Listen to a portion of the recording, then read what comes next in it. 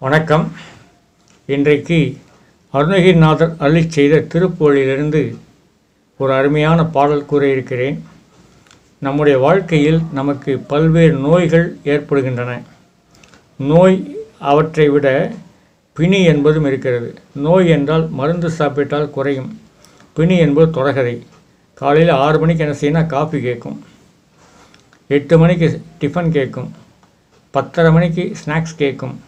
ஒரு மணிக்கு மதிய உணவு நாலு மணிக்கு ஸ்நாக்ஸ் எட்டு மணிக்கு இரவு உணவு. இது ஒரு தொடர்கதை. ஒவ்வொரு நாளும் இந்த தொடர்கதை தொடர்ந்து கொண்டே இருக்கிறது.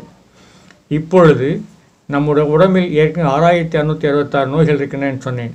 ஒரு புதிய வியாதி நம்மை இப்போ இப்பொழுது பிடித்திருக்கிறது. அது என்னவென்றால் அர்ஜுன வியாதி.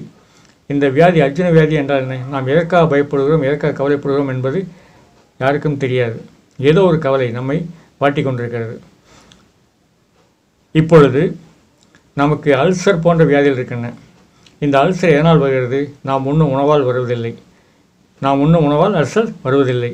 நம்மை ஏதோ ஒன்று அழித்து கொண்டிருக்கிறது. நாம் சா நம்மை நம்மால் முடியாத காரியம் ஒன்று நம்மை வாட்டி கொண்டிருக்கிறது. இதை பற்றி சிந்திக்க சிந்திக்க என்ன செய்யணும் நமக்கு அல்சர் வியாதி வருகிறது. இவையெல்லாம் மாற வேண்டுமென்றால் நாம் திருப்புகழை படிக்க வேண்டும். இந்த திருப்புகழ் பாடலை நீங்கள் படிக்கிறேன்னு சொன்னால் உங்களுக்கு நோய் வருவதற்கான வாய்ப்பே இல்லை.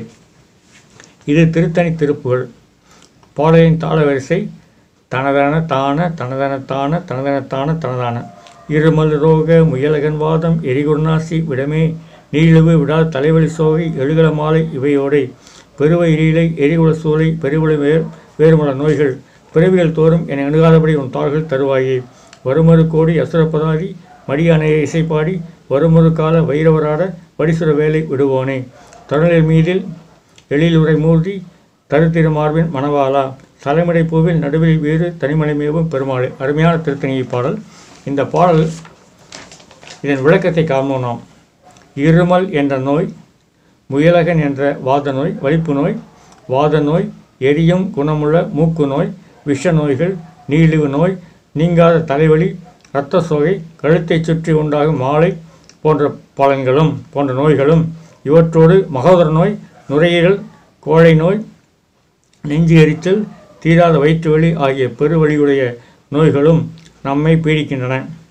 இந்த நிலையில் நாம் என்ன செய்ய வேண்டும்? இறைவன் திருவடியை நாட வேண்டும். உன்னுடைய திருவடியை தன் உன்னுடைய திருவடியை தந்தல்வாயாக உன்னை எதிர்த்து வந்த அசுரர்களின் காலாட்படை இறந்துவிடவும் அநேக வீர பாட்டுகளை பாடிக்கொண்டு வந்த ஒரு கால பைரவர் ஆட சிவபெருமான் ஆட போர்க்களத்தில் நடமாடவும் கூறிய ஒளி வீசும் வேலை செலுத்தக்கூடியவனை கற்ப விருட்சம் நடுவினில் வசிக்கும் தனிகமலை மிகு பெருமாளை. இந்த அருமையான பாடலில் தேவயானை பற்றியும் கூறுகிறார். தேவயானை ஆசீர்வாதம் நமக்கு உண்டு. தேவயானை மணவாளனே என்று பாடுகிறார். கடலால் சூழப்பட்ட இந்த புவியின் மத்தியில் சிறப்போடு விளங்கும் திருத்தணி மலையில் வீட்டிற்குரிய பெருமாளை என்று அறிஞர் பாடுகிறார். இந்த பாடலை தினமும் நாம் காலையிலும் மாலையிலும் கவனமுடன் பக்தியுடன் ஓதினால் நமக்கு எந்த விதமான நோய்களும் வருவதற்கு வாய்ப்பே இல்லை. மரணபயம் நமக்கு வரவே வராது.